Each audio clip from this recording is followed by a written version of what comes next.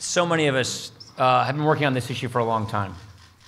And uh, as a former chairman of the Ways and Means Committee, I just have to tell you how so many men and women here have fought for this moment. So I also want to echo what Kevin Brady said. I want to thank uh, the staff for all their hard work. I want to thank George Callas uh, on, on our staff who came from the Ways and Means Committee to the Speaker's office with me and so many other people to make this possible. We come to these jobs to try and improve the lives of the people we represent. And this bill, more than so many other things we've ever tried to do, does that. And so we're very thankful and we're very hopeful. Because when we've been working on this issue for so many years, we can see on the horizon this great potential for our people and for our economy. We know this is the greatest country on earth, and we know that America has better days ahead, and we know that America has so much more potential to tap.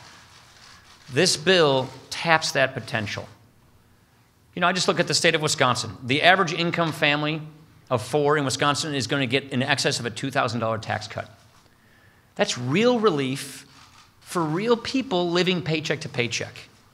We're heartened that hours after this bill passed, we're seeing companies across the country giving bonuses to their employees. One company in Philadelphia, $50 billion in capital improvements and investment over the next five years because of this tax bill. We're encouraged at the fact that this is going to give the American economy the jolt of energy it needs to give people the opportunity they deserve. So we're so excited about this chance and this opportunity. And we're so thankful to the men and women of this country who sent here to work on their behalf and that we are able to actually deliver this generational defining reform in this moment. So at this time, I'd simply want to ask the Senate Pro Tem, Senator Hatch, to join me in enrolling in signing this legislation. Please.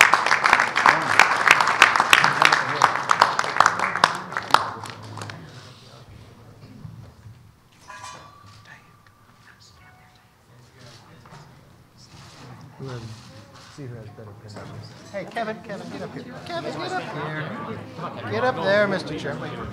Oh, you get on this side. Yeah, Come on. You put a few hours in. there you go. You get a pen, you get a pen. You need to be up front.